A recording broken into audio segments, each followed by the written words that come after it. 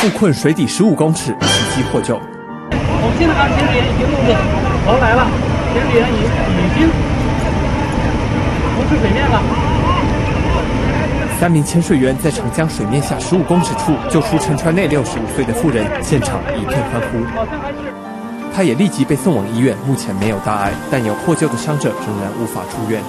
有两个伤得比较重，有一个呢可能是惊吓过度的引起的应激性反应。船上包括工作人员在内，还有四百三十四人下落不明。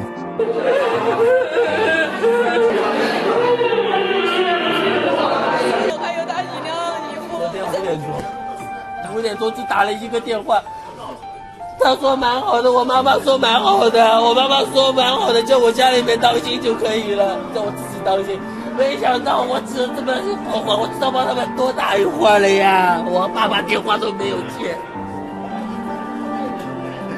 我对不起他们呀，我对不起他们呀。客船东方之星从中国南京开往重庆，前天晚上约九点二十八分，在长江中游湖北的监利水域翻覆沉没。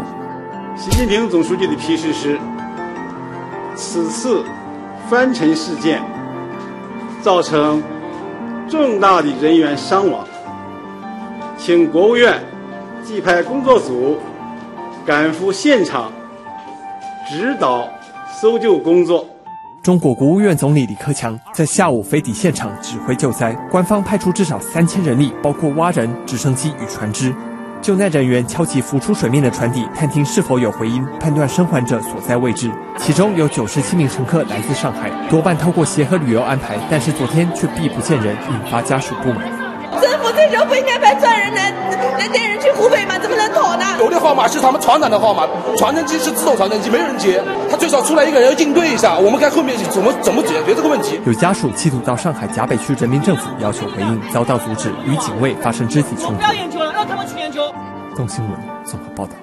苹果十二周年爆料拿大奖，两百万等着您！独家给苹果照片、影片或者独立采访的公民新闻，点阅数每周最高一名二十万，全月最高一名两百万，改变社会从爆料做起。